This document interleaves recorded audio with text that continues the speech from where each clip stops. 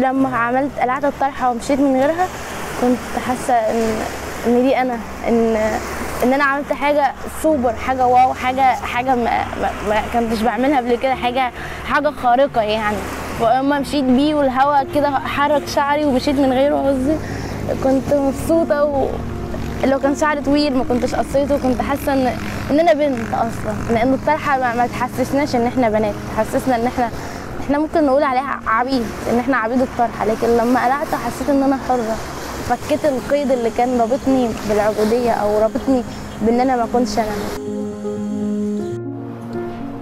اسمي رانيا رشوان عندي 21 سنة. اتولدت في قرية كحك بحري وعشت فيها طول حياتي. هي في الفيوم الناس ما تقبلتش ان أنا ابقى مش محجبة. كنت عايزة اترك في حالي بسلام واعيش بأمان مع إخواتي بس حوادثي كتير مع العنف مع مع مع الذكور في في الموجودين حواليا وفي نطاق حياتي من زمان جدا.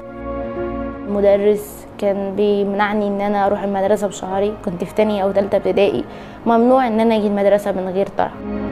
من أخويا في مرحلة ما كان متأثر بالذك- بالذكورية والعنف. فكان ضربني لو ان أنا لبست بنطلون أبويا كان بيضربني لو شافني طلعت السطوح أو حتى في البيت من غير طرحة لازم أبقى في البيت بطرحة أو مغطية شعري في العموم. ده صعب أو أو غريب.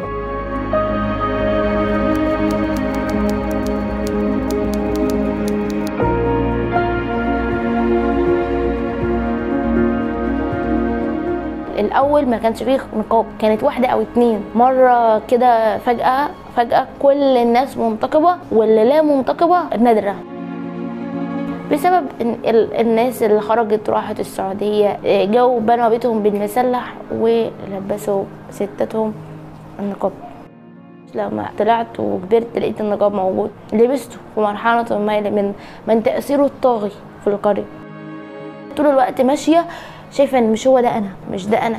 لبس بوهيمي غريب أنا مضطرة ألبسه. ده مجرد إن أنا خرجت وكبرت فغصب عني لازم ألبسه عشان أنا بنت. مين قال لازم؟ مين قال غصب؟ مين قال؟ مين لازم يلزمني حاجة أنا مش عاوزاها؟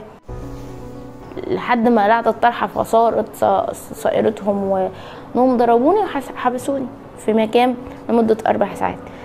علشان أنا رحت أستفسر وأسأل إنتوا ليه بتقولوا الإشاعات عني؟ قريبتي جات وبتقول لي وريني الصليب اللي في إيدك. وريتها ايديا وما شافتش صليب.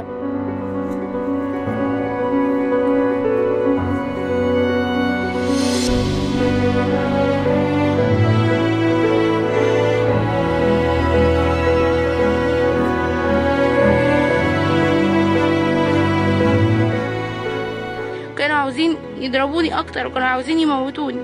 يقول لي مش هنسيبك أما حد من عيلتك يجي ياخدك. كلها إشاعات تكفيرية. بيكفروني وبيستحلوا دمي وبيستباحوا خصوصيتي وبيستباحوا إنسانيتي. في خلال طريقي وم- ومشواري للجامعة كنت بتعرض لرمي طوب عليا وأنا ماشية لشتيمة لنعتي بأنعاد زبالة اتهامي بحاجات غريبة إن أنا أخدت فلوس من حاجة أو إن أنا غيرت ديني. هما كانوا مش عاوزين اعمل ده بس أنا عملته. فبالتالي رموا سمعتي ورموا سمعة إخواتي كانوا بيروحوا لهم أماكن شغلهم ويقولوا لهم رانيا مسيحية رانيا مسلمة كانوا بيكلموا اخويا أخويا اللي في القاهرة يقولوا له اضربها إيه، عنفها هل الحجاب صح؟ هل الطرحة صح؟ هل قلعها صح؟ أنا ما أعرفش أنا اللي أعرفه إن كل الحاجات دي حرية و- والمرأة هي اللي تحدد هي عايزة تعملها أو لأ معاناة الواحد مشابهة للمعاناة اللي عبد الله عملها.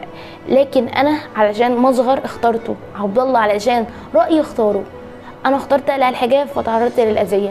عبد الله اختار يقول إن حرام المسيحيين يموتوا لمجرد إنهم مسيحيين بسبب الانفجارات وبسبب الأحداث اللي حصلت في احدى إحدى الكنائس فزمايله في المدرسة نبذوه وعنفوه واضطهدوه نمروا على كلامه واطلقوا عليه اسم اسم عبد الله جرجس وحاجات كتير كتير مؤذية لطفل أو مراهق عنده 14 أو 13 سنة. سافرنا القاهرة قعدنا فيها حوالي سنة. عبد الله ما احتملش إن فكرة الرجوع تاني للقرية والمأساة تتكرر تاني. فعبد الله قرر ينهي حياته بإيده. عبد الله أخويا كان إنسان جميل وطيب السجية وكان ضد العنف وكان ضد كل شيء آه، غير آدمي. لما وقت المشكلة حصلت لي لقيت بنات هنا في القرية كلمتني. وإحنا كمان نفسنا نبقى زيك بس إحنا مش هنقدر نجيلك أو نكون معاكي على على المستوى على الواقع. منهم القاصرات اللي اتجوزوا قاصرات منهم اللي متجوزين جواز متعة اللي متجوزين جواز مسيار. وفي ال- البنات التانية اللي اتعرضوا لعملية الختان. البنات دي محتاجاني وأنا أنا كمان ضد اللي بيحصل لهم. ونفسي في يوم من الأيام يبقى ليا يد في إن أوقف اللي بيحصل ده. نفسي أوقف عملية الختان اللي ليس لها داعي على الإطلاق.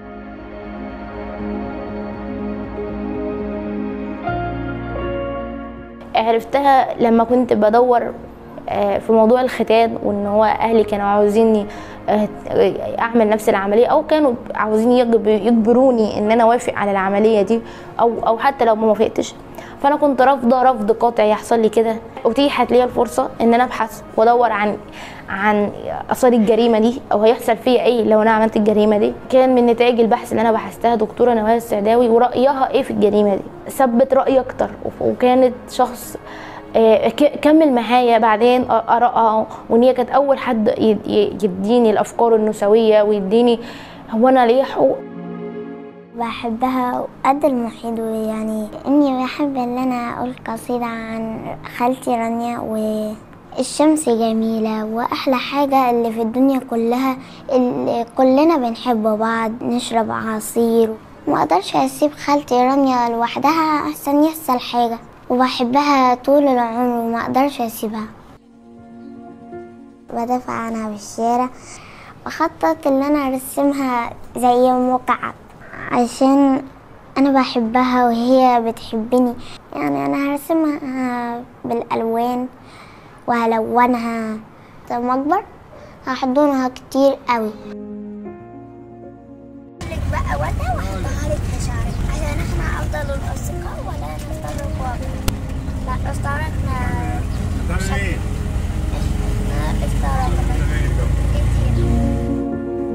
المجتمع فيه آفات كتير. أنا نفسي نفسي أكون موجودة على مستوى كبير من من من التعليم ومستوى كبير من ال من الثقافة إن أنا أقدر أساعدهم وإن أنا أكون مسؤولة وأقدر أساعدهم في كل الحاجات اللي بتحصل.